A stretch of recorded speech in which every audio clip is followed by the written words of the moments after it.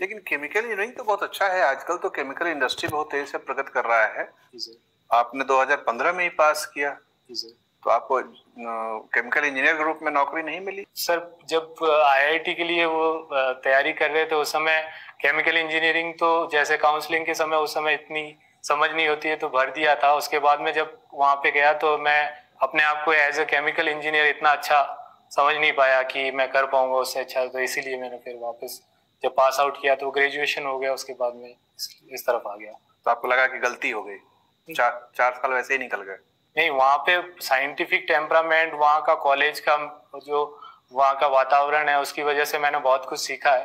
But as a chemical engineer मैं उतना अपने आप को नहीं प्रूव कर पा पाता जितना मैं सोचता हूँ कि अब